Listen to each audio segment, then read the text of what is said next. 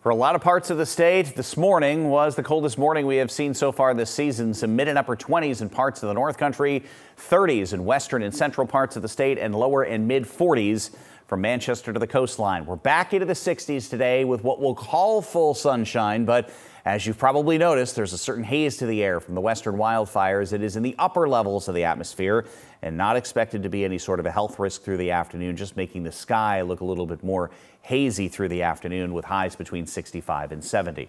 We eventually drop back tonight into the 40s and 50s, so it won't be quite as chilly overnight tonight before eventually going into the 70s as we work our way through Wednesday and Thursday afternoon.